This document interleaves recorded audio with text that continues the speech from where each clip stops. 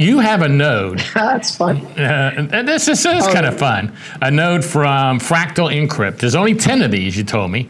And uh, Erica, could you bring that up on the screen while uh, Eric talks about it?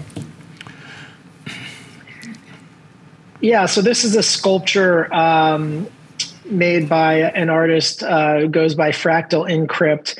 And you can see there um, on the sculpture, there's uh, all the equations that are in Bitcoin. Um, it's a very well thought out sculpture where there's those little empty holes there. Those are the halving cycles, and they're dated as you go around. Um, it, it's a very thoughtful piece of art. The Merkle trees, as well, uh, kind of visually depicted. It's made of all kinds of really cool woods and, and metals and materials. He's a, he's a true artist, and um, yeah, it's uh, there's only ten of them. Um, I mine is number six. Michael has number five, um, and the artist has has become a friend. He's a hardcore Bitcoin maxi.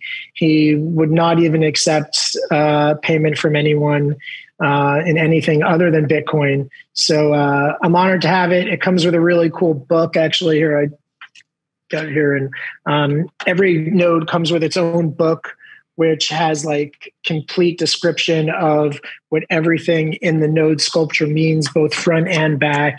And uh, here, maybe I'll show you another. And it's just uh, so here's kind of a explanation page of what all the different uh, things on the sculpture are, and it, it's just one of those awesome pieces of art um, that there's always more to look at, always more to understand, and it can be set to a particular uh, block uh, or moment in time.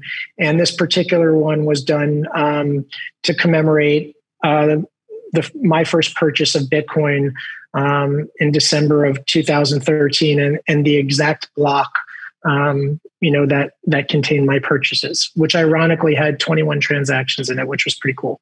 Well, that is pretty cool. So he, when he makes it, it's got you can say, "Hey, I want it set for this date," and that's that's what it Yes. basically does.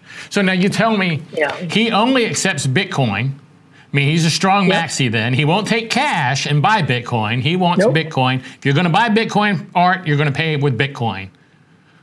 Yeah, I didn't want to part with my Bitcoin um, when I when I was buying it from him, and I offered him more in dollars to take dollars than the Bitcoin, and uh, he just, with no hesitation, flat out refused. It's like, no, absolutely not. Wow.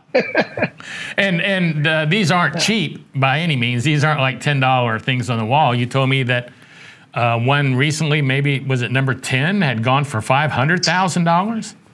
Yeah, the last one sold for for quite a bit of money. I mean, we we measure the price in Bitcoin, so uh, Right. Oh, that's I right. think it was something like 16, 16, 17 Bitcoin or something at the time.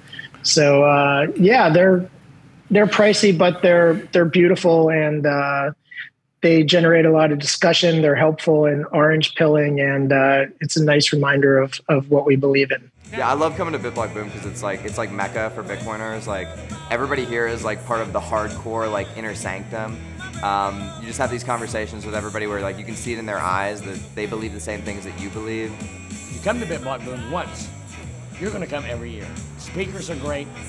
The networking is great because you know, that's really what it's about when you're a, a Bitcoiner, especially when you're a new Bitcoiner, is you want to network with as many Bitcoiners as you can, learn because there's so much information, not only about Bitcoin, but about money in general. Hey, so I'm down here at BitBlock Boom, and what energy, what a lot of fun. It's all Bitcoiners and uh, just good people. That's the one thing that, that all my interactions that I've had with people, you can tell you're just dealing with a culture of people that just want to make the world a better place. So if you want to come to a Bitcoiner conference, not a crypto conference or a shitcoiner conference, if you want to come to a Bitcoin conference, you would come to BitBlock Boom.